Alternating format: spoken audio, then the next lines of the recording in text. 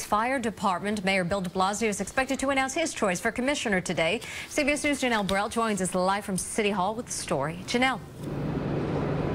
And Mary, it's certainly a familiar face to those within the FDNY. Daniel Nigro is a community, a career firefighter, and he will be coming out of retirement to accept this new position that comes along with its challenges.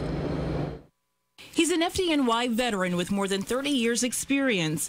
And now at 65, Daniel Nigro is coming out of retirement to lead the department as its commissioner.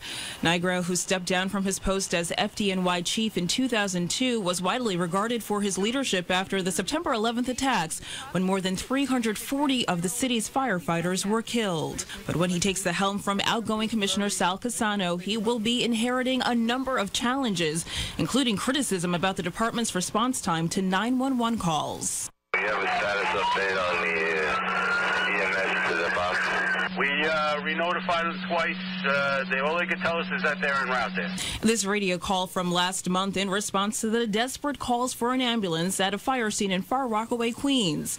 While it took firefighters five minutes to get to the scene, EMS did not show up until 21 minutes after the call. Four-year-old Jaylani Tinglin and his half-sister Ania were both killed.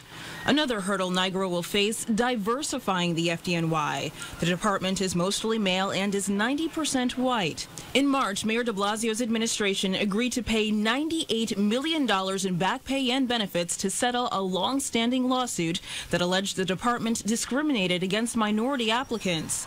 The department has since been required to change its recruitment policies. And the firefighters union is on board with this appointment, saying in part he has the experience to lead the FDNY into the future. Mayor de Blasio expected to make the formal announcement later this afternoon. For now, we are live at City Hall. Janelle Burrell, CBS 2 News.